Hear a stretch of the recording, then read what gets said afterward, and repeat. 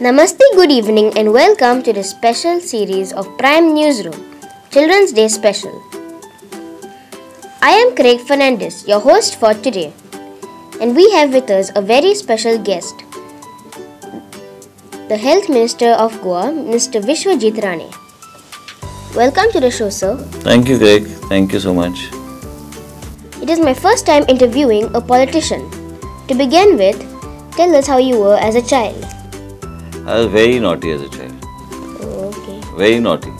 My parents used to punish me a lot because I used to not listen to anything they say. But then maybe I that punishment helped me in becoming a better person. Punishment but not exactly punishment, punishment, but I was very mischievous, beyond teacher's control. Okay. And then what made you join politics? Watching my father right from the time I was born, from my first year, when I was one year old, from then he was in politics and getting in, you know, whenever I used to go with him, I used to, as I grew up, that was the environment I grew up in and I loved interacting with people. So whenever I used to meet people, I always had that urge of doing something for them. As I grew up, I used to see my father doing a lot of stuff for people and uh, basically that actually drove me towards, you know, that I had this urge in me to help people, resolve people's issues, try to do something good for them and that got me into active politics. Now it's my 16th year in active politics, but as my father was in power for so many years, I used that opportunity to do a lot for the people. Oh, that's nice. Is your job as a minister very hard? Not really, Oh, not really. okay. I thought it was hard. It's not hard. It's uh, it's hard for people who don't understand what they have to do. It's easy for people who apply their mind and analyze exactly what the people of the state want. And also, just like you are in the grade five, you have to study. You have to also, as a minister, study exactly what the people want, and then you have to draw up a vision document for yourself, a roadmap exactly how you want to go forward and achieve things for the state and for the people and accordingly move forward but then you need to take advice of people. Everything a minister doesn't know and also you need to understand what is the requirement of the society. And with multiple portfolios that are held with me they involve understanding subjects on a larger spectrum means on a larger scale. So it is very important for me to take good advice and try to do things better and follow the roadmap that is laid out, you know, step by step. That's nice. What are the things you love about being a minister? You know, work hard, try to achieve things and try to, you know, if there's something good you can do for society, something new, like we're now in the health department, we're coming up with a cancer hospital. People suffer because they go to Bombay and they have to spend a lot of time in getting treatment. So whatever new thing, new innovations which are there in every field, whether it's urban development, where it comes under urban, you know, urban development is like all, it is more city oriented. Then there's town planning where you can do a lot in terms of planning and conservation and also trying to see you can develop the cities much better and more professionally. Then you have forest is also one of my portfolios where I'm trying to see how you can have safari parks and make a change, you know, what people want. But it's not very hard, it's okay and I, I don't know, it's, I'm used to it now for last so many years. So I have my own thought process and I move in that direction. It's very interesting. And are there anything you don't like about being a minister? No? No. Okay. I love being a minister because being a minister it helps you reach out to people. My constituency elects me, so if I get, get an opportunity to be a chief minister, then my chief minister through him, we are able to do a lot of good work for the people. So being in the cabinet helps you, definitely helps you serve your people much better. What will be your major steps towards health in Goa? Outreach, basically I want the poorest of poorest to get good health care. I don't want people to be running around from the we have a structure of the sub you call something called the sub health center. Then you have a primary health center or a community health center. Then you have district hospitals. Then you have the goa medical college you know? So we have different i want people at the village level right in the remotest area to get the best of healthcare especially diagnostic blood diagnostics and several other things so basic things can be detected early so my thrust is on preventive medicine preventive medicine is something where you can detect any kind of ailment in a person at a very early stage so that we can save their lives. So such several initiative and verticals we are now doing. So this is something what I like as far as being a health minister is concerned. What was your favorite subject in school? Why did you like it? History. Why? Just it was very educative. History was one thing which I liked, and then there used to be civics, basically on the constitution and several other things. That was those are the subjects which I really liked. Those were very easy subjects. History was because you know it taught you a lot about what you. When you were small, we used to read these Amar Chitra Katha and other things. You know, some old, some some historical facts through a, um, through the comic uh, books which used to, we used to get. But uh, basically, I liked history because it you know educated you on what right from what where what happened in the past to where we are today. So I liked history was something that was always close to me. Then another subject which I liked as I grew up was mass communications, which was there in commerce, and uh, yeah, couple of these things I liked. Then I, as I grew up, then I liked more on financial management and other things when I went to my MBA. Then I liked marketing. Marketing is something which was very interesting. So these are a couple of things which I liked as I grew up. Okay, my favorite subject is maths Maths, my god, I was very bad in maths. because I like the the different ways of solving sums. Yeah?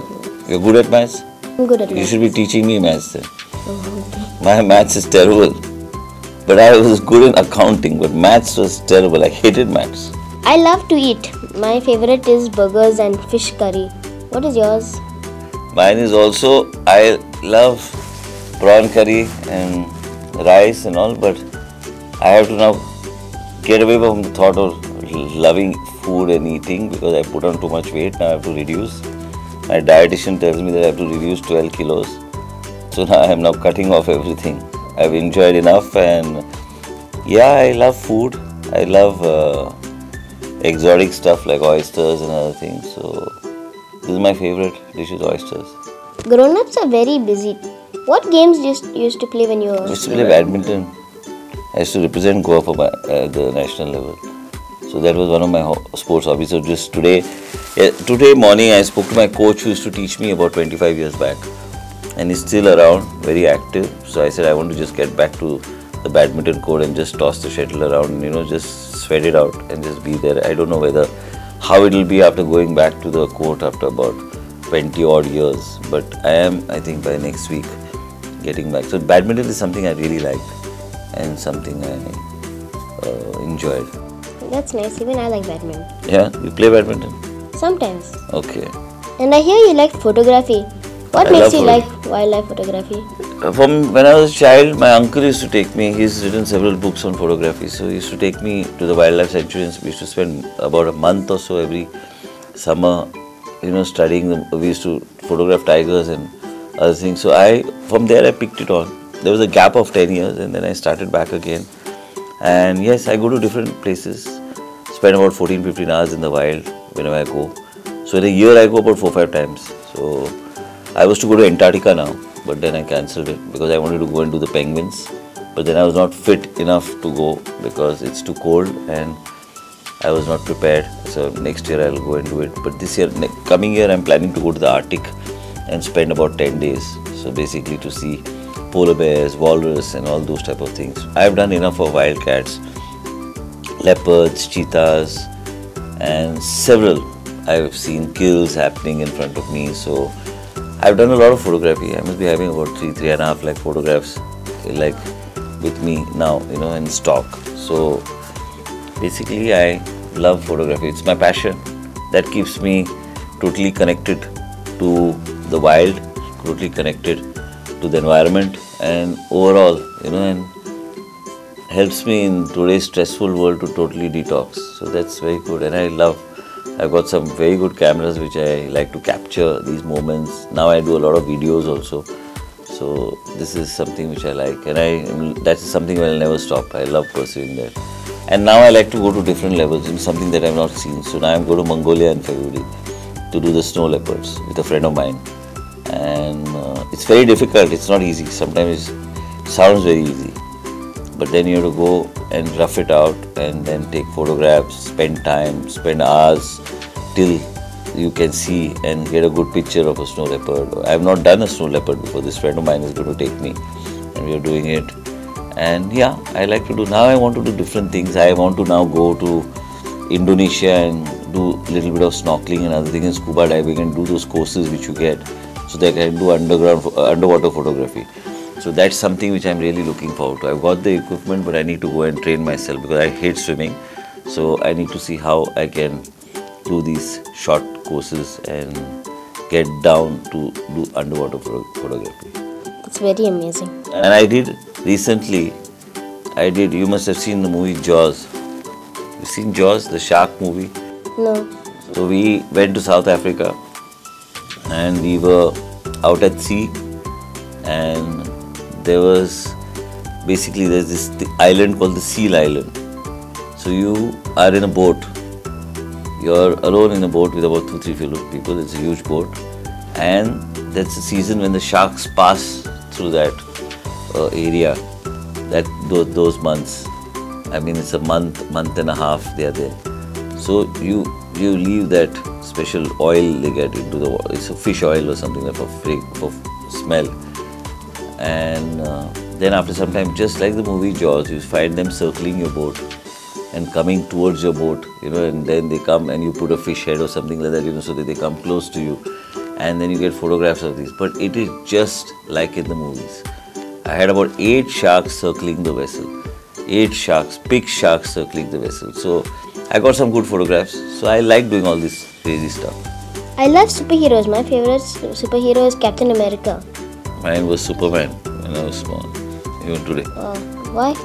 I liked the movie. I saw the movie. I liked him, and I liked the whole series.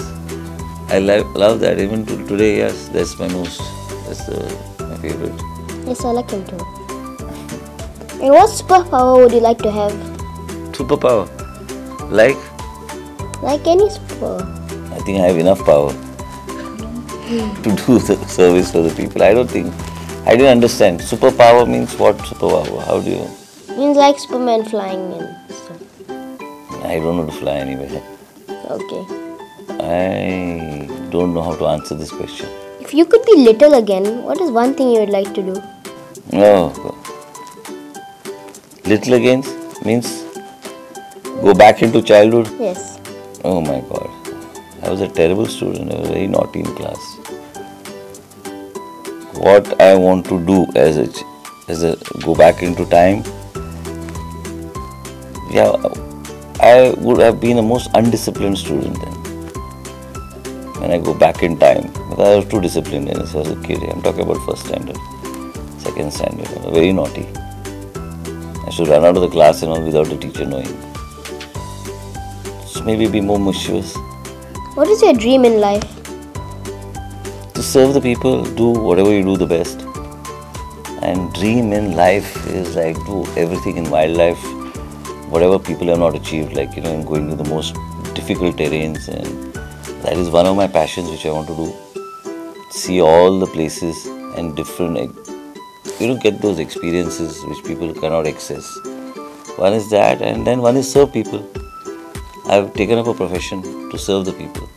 So I just want to see whatever best I can do over the next couple of years and see that the people are happy, try to get a good quality of life for them and see that they are happy with me with what I'm doing for them. It's really awesome. I hope it happens soon. Do you like bikes or cars? I like cars. Which one is your which one is the coolest according to you? Maserati. Oh, that's nice. Mine is the Koenigsegg Agera RS. Which is that? Koenigsegg Agera RS. No, I have not heard of that. Oh, okay. And finally, could you give all the boys and girls a message for Children's Day? I would only suggest to you and all all the young students and you all are the future of this country. You need to work hard, study well. Your parents have a lot of expectations from all of you. My parents had expectations from me. You must live up to those expectations. And whatever you do, try to apply your mind and make sure that you excel in whatever you do. Today, without education, you can't achieve anything in life. Everything is looks very easy, but your parents put a lot of effort in trying to educate you trying to see that they sacrifice everything to give you the best education so that you do well in life and you move forward. And I think that education, thrust on education, and the young generation must study, must do well, must excel. And you know, just by just doing a 10th standard or 12th standard won't be enough. Specialize in something. You know, the country needs you, the country is opening up in a different way. And you must live up to the expectations of your parents. Your parents have a dream and a plan for you, and you must live up to it and make them proud of. Thank you. And that is all that we have here for today. Thank you, sir, for being with us. Thank you, Greg. It was a pleasure to chat with you. Thank you. We wish you all the best in all that you do. Thank you so much. It was nice catching up with you. Thank you so much.